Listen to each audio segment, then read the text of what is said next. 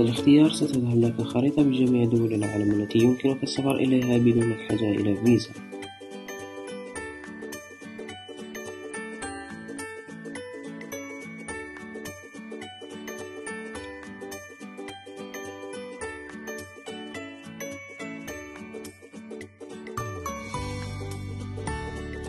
الدول مقسمة إلى عدة ألوان. اللون الأخضر يعني بدون فيزا أما الأصفر فيعني الحصول على الفيزا عند الوصول إلى المطار.